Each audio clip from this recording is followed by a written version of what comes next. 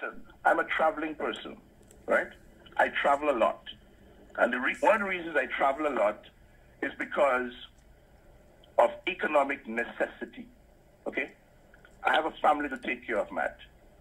And I don't know if because of the way I address issues or the way I speak or what, whatever is wrong with me. Nobody in Dominica feels that I deserve the money for work that they know I'm competent to do.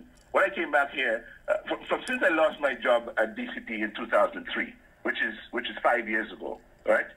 I have submitted numerous applications to companies who are supposed to know Lennox Linton and that he's capable, he has certain skills in the area of corporate communication, blah, blah, blah.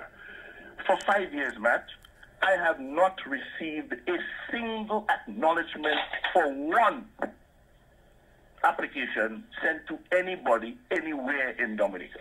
Not one. What am I supposed to do?